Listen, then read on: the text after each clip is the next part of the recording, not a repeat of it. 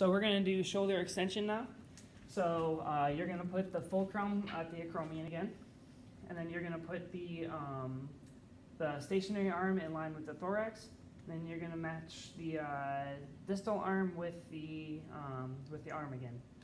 So it's gonna be right around uh, uh there. So it's gonna be 10 degrees, and the normal is gonna be about 45 to 60.